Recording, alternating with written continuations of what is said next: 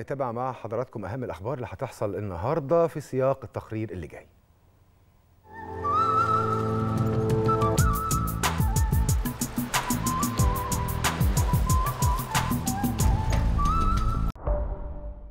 بالنسبة للأخبار اللي هتحصل النهاردة فهيترأس الدكتور مصطفى مدبولي رئيس مجلس الوزراء أول اجتماع لمجلس المحافظين في الحكومة الجديدة عقب حلف اليمين. كما يرأس الدكتور مصطفى مدبولي مجلس الأعمال المصري الصربي لبحث المزيد من التعاون بين البلدين.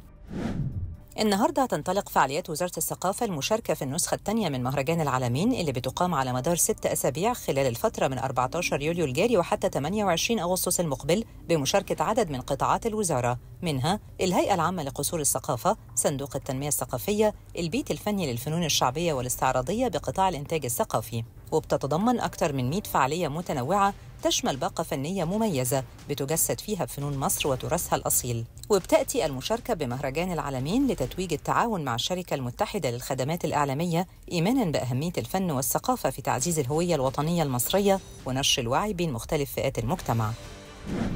النهارده أيضا هيبدأ مركز الطفل للحضارة والإبداع أو متحف الطفل خلال الأجازة الصيفية برنامج خاص بتعليم الأطفال مبادئ الدراما والتمثيل المسرحي.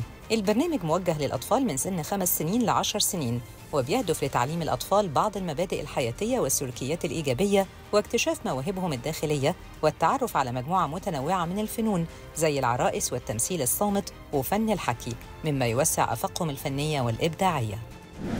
لعشاء الكرة الأوروبية موعدهم النهاردة مع مباراة نهائي كأس الأمم الأوروبية يورو 2024 هيلتقي منتخب أسبانيا مع منتخب إنجلترا في تمام الساعة العاشرة ليلاً.